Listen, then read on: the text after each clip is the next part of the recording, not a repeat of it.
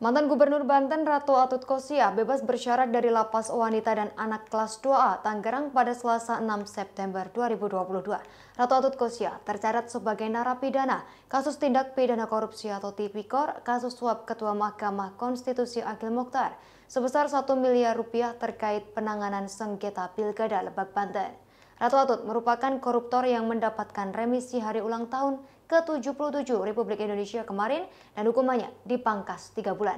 Berikut merupakan sosok Ratu Atut. Ratu Atut merupakan seorang politikus Indonesia kelahiran Jomas Serang, Banten pada 16 Mei 1962. Ratu lulusan akuntansi perbankan tahun 1984 dan manajemen di Universitas Borobudur pada tahun 2004. Ia dilantik sebagai Gubernur Provinsi Banten bersama pasangannya Wakil Gubernur Joko Munandar pada 11 Januari 2002. Kemudian Ratu Atut Kosyah ditunjuk sebagai pelaksana tugas Gubernur Banten ketika Joko Munandar dicopot dari jabatannya terkait kasus korupsi. Ratu Atut mencalonkan diri sebagai gubernur berpasangan dengan Muhammad Masduki sebagai calon wakil gubernur. Ia berhasil menduduki kursi gubernur dalam dua kali pemilihan. Namun karir Ratu Atut runtuh lantaran terlibat dalam kasus korupsi alat kesehatan di Banten yang mengakibatkan kerugian negara sebesar 79 miliar rupiah. Ia harus menjalani masa hukuman selama tujuh tahun.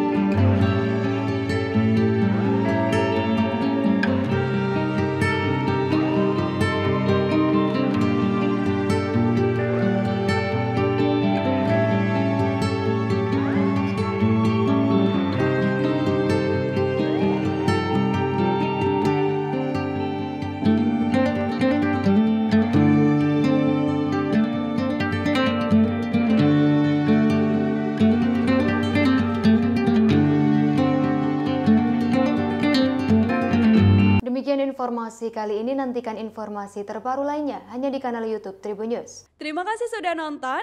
Jangan lupa like, subscribe, dan share ya.